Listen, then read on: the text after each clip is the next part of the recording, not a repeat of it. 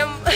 Начинаем серию русских видео на моем канале. Сегодня мы путешествуем в остров Граций-Яжск, э, который находится в 60 километрах от Казани, не очень далеко. История этого города началась в 16 веке.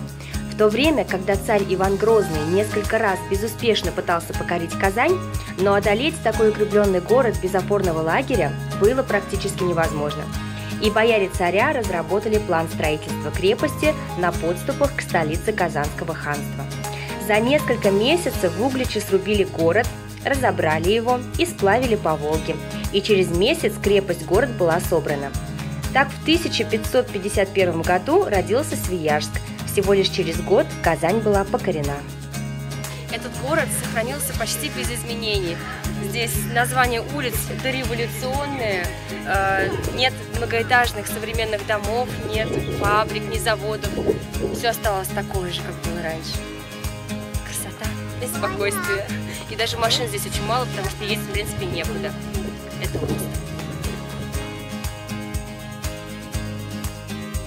А символ Свияжска – воссозданная по древним рукописям пушка с головой медузы Гаргоны.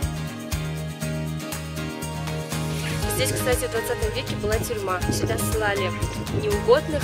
До этого был лагерь ГУЛАГа, один из лагерей ГУЛАГа. Мне кажется, такая природа, да? Тюрьмой не пахнет. Смотрите, какая красота.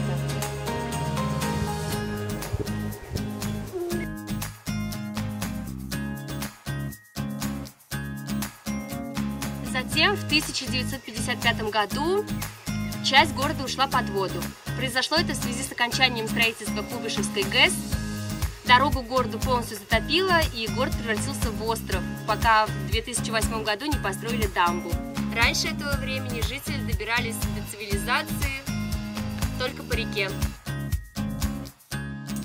Главные достопримечательности города – это монастыри – мужской Успенско-Богородицкий и женский – Иоанна-Предтеченский.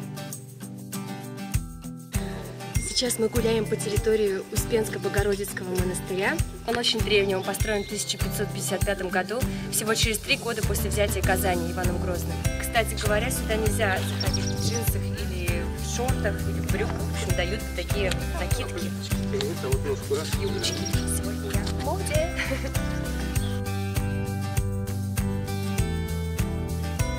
Кроме собора, колокольни и церкви, здесь очень много интересных построек – братские кельи, покой настоятеля. Каждое здание имеет свою историю.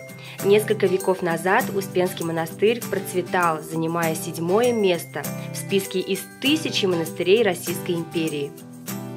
Потолки были очень низкие, немножко выше моего роста и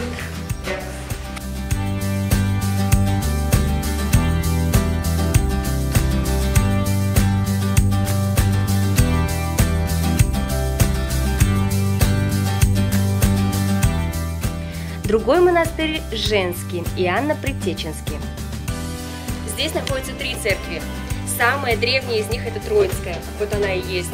Это последняя уцелевшая часть Свияжской крепости, собранных, собранные из бревен, сплавленных из углича. Собрали эту церковь в один день. Тут молился сам Иван Грозный перед походом в Казань. Очень древнее строение.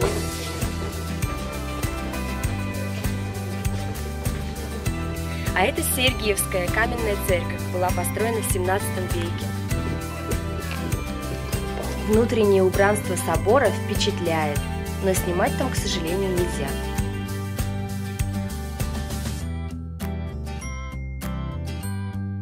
Александр Сергеевич Пушкин, когда был здесь, в Свияжске, очень удивился, увидев этот город издали, этот город-остров.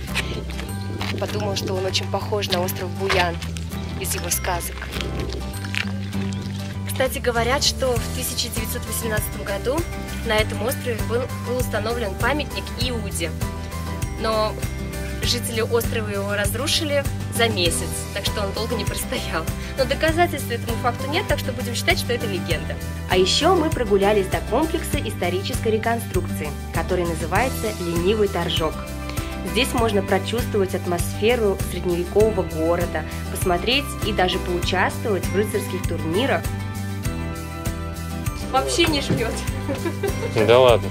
Вот вам, наверное, жарко, да? 30 градусов в таком костюме сидеть. Кошмар. А еще и биться в таком костюме.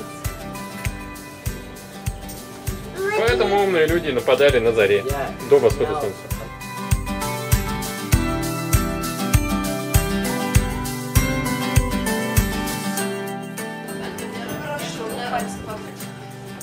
Оттягиваем, локоть вверх.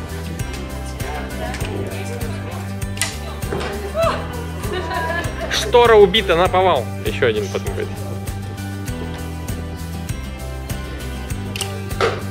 Ого!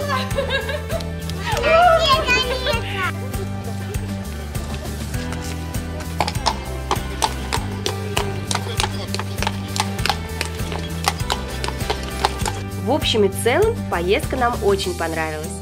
Если бы еще не было так жарко и душно в этот день, к тому же в конце прогулки нестерпимо болели ноги, так что конверсы – это не стопроцентное спасение для ног. Думаю, мы обязательно вернемся сюда еще. Спасибо за просмотр, друзья, до новых роликов!